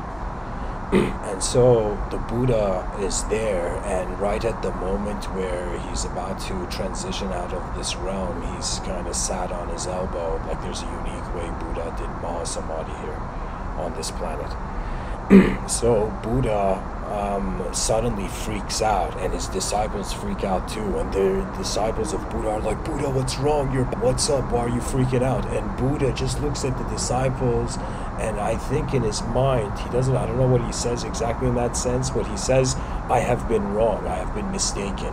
It's as if in his mind he's like, "I have mistaken. I have been mistaken." right? And he looks at his disciples and he says, We have all been enlightened from the beginning because the universe is, if it is alive, and you remember it.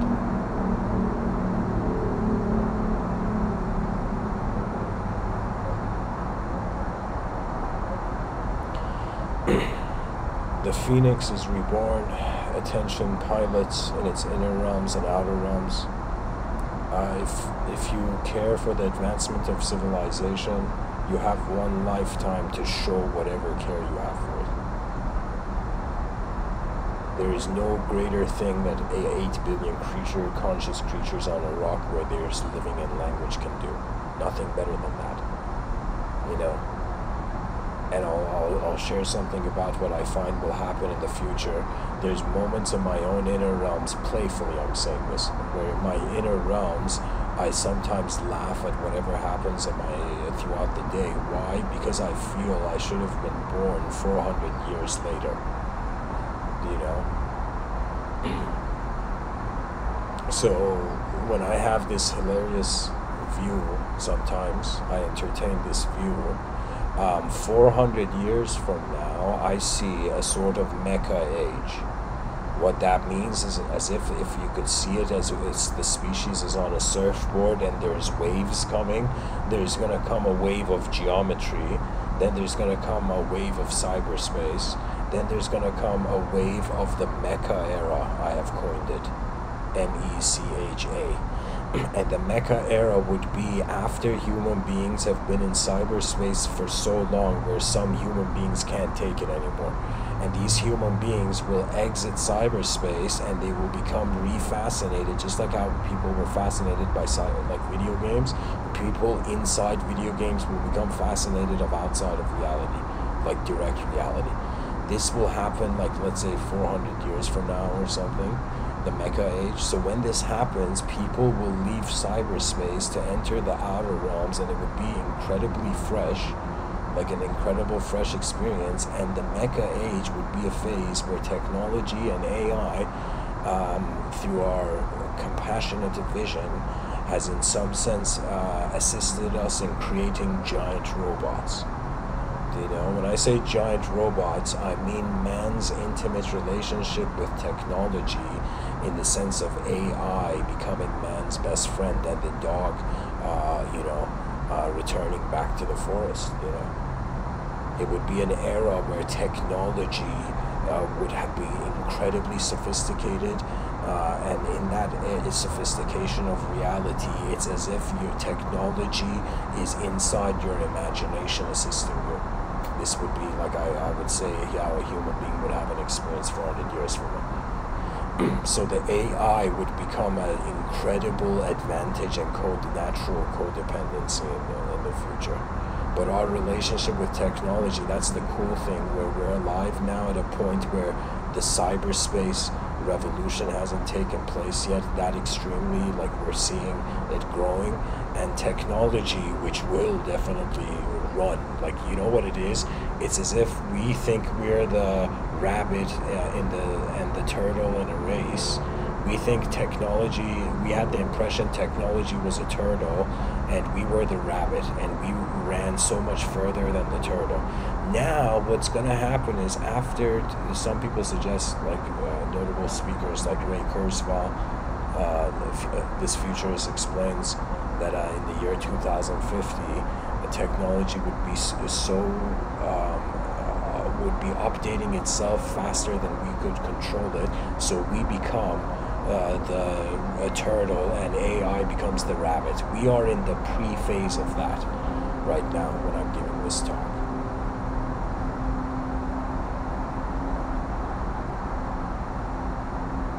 So when that moment happens, then it would be a race between man and machine and the challenge of preserving nature that the, the human algorithm would change at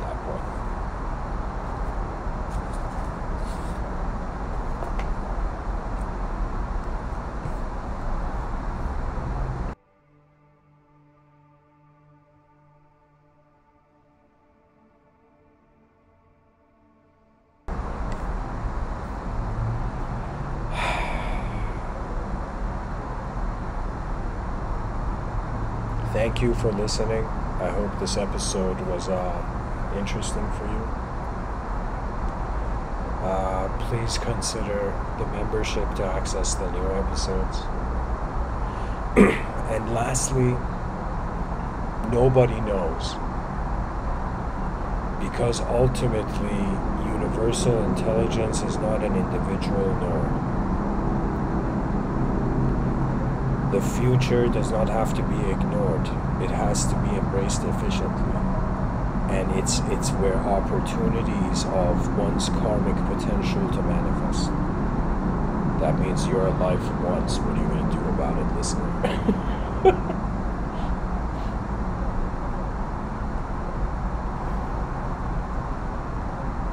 so I feel just to um, finish this episode I would say um, I would consider that I have maybe, maybe broken the record of being uh, a man who has found the edge of the sky uh, by realizing that our eyes are one edge of it.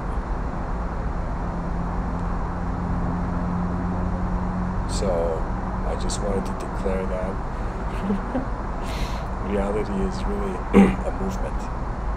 And I would say honor yourself. You have one lifetime to honor yourself and learn from it. You have one lifetime to honor others and learn from them. You know, and you have one lifetime to honor the advanced civilization, the greatest guardian spirit of the species greatest backup system if we all fail the advanced civilization knows where it's going the best feeling can you imagine sleeping at night and being like all right the species knows what it's doing rather than having this sort of bizarre illusion of things are all right when they're not where they when they can be better. And the whole argument follows this that a person is just seeing a system, is seeing a system can be better and is saying why not better. Like that's the whole mentality I have. Because free will has to be free. Like no person can go and move a bird's wings to, to make it fly. The bird has to, from within, become animated and inspired and then suddenly fly. And so if 8 billion human beings uh, fly towards uh, a future where we are retaliating, responding against the unknown, it is way more honorable. That means we don't have to be as extreme as samurai doing seppuku, but we have to, in some sense, care for the honor of the species, as if for the first time a person in history is suggesting, hey, we all look like each other. We are a species of common design, of common uh, reach and ability. And so the stars are know. So the introduction of interstellar perspectives, I'm telling you, even if you're a teacher, let's say you're a teacher of some school listening to me, just go to your classroom and make the significance of what you're teaching to, through a universal context, and all your students will listen to you. Why? Because the universe is where the party is at. Literally, we go to university to become universal beings, not. Uh, uh, uh, firewood for a, a blind economy.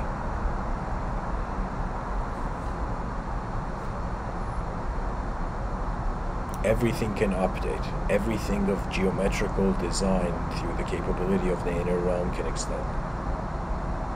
I could look at anything, and the way the mind works is like Cyclops from the X Men, it's beaming consciousness. you know? So that means, like, you know, I kind of understand what it's like for Cyclops when he, you know, when he takes off his glasses. Why? Because when I open my eyes in the day, a sudden emergence, something uh, unfamiliar to my experience awakens. You know, you don't know how many moments I've had. I was saying this to someone the other day that uh, I have existential panic attacks, but not in the sense of like a dismissal and internal. That means there's moments where I look at this realm and I'm like I get I get persuaded by selfish motive and that selfish motive for a moment makes makes the context of the world meaningless because when you are cruel to the realm you just want to exit faster but if you are cool to the realm, you know, from cruelty to being cool about it, you know, you will realize like this is the only stage we know.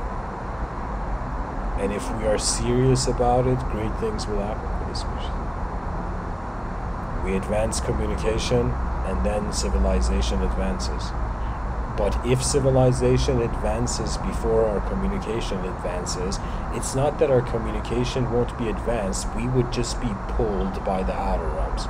Because in life, there is a distinction between what is moving things like when I like right this coffee cup in front of me when I lift it into the air that's not like the forces of nature being the primary mover of it even though gravity is acting upon it but it was my immediate force of my hand that lift the coffee cup against gravity so it's like every time I lift the coffee cup in the air gravity's like no way you rebelling man you know but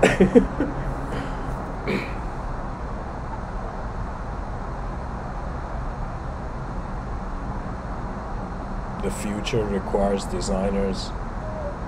Uh, Civilization 2.0 is a strategy to indefinitely bypass extinction. We utilize the space around our planet to fix our planet and then have the possibility to go back on it or move towards a cyberspace interstellar age. You know, that means I don't know why, but there's a part of me that feels I would be very comfortable living in an interstellar city